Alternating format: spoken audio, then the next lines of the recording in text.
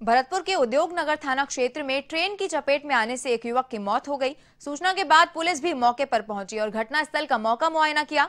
शव का पोस्टमार्टम कराया और परिजनों को सुपुर्द कर दिया। पुलिस ने बताया कि मृतक पिंटू इब्राहिमपुर गाँव का निवासी था। वह एक फैक्ट्री में काम करता था और सोमवार को पिंटू टहलने गया था, जहाँ रेलवे ट्रैक पार करते समय वह ट्रेन की चपेट में आ गया।